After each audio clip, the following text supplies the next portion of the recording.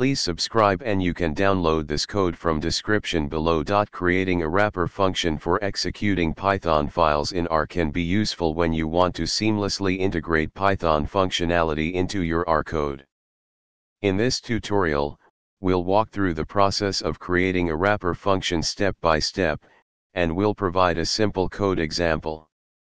Before we begin, ensure that you have the Reticulate package installed in R.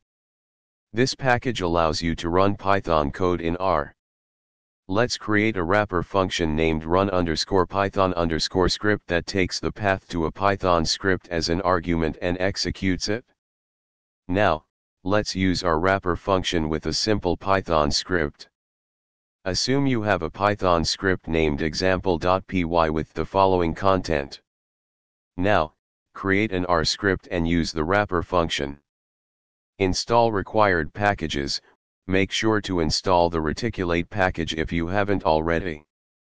Create a wrapper function, the run underscore python underscore script function takes the path to a Python script as an argument and uses py underscore run underscore file from the Reticulate package to execute the Python script.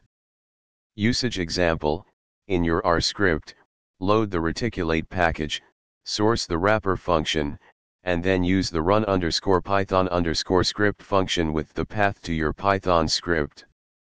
Call Python function from R, after running the Python script, you can call Python functions directly from R using the function underscore name syntax.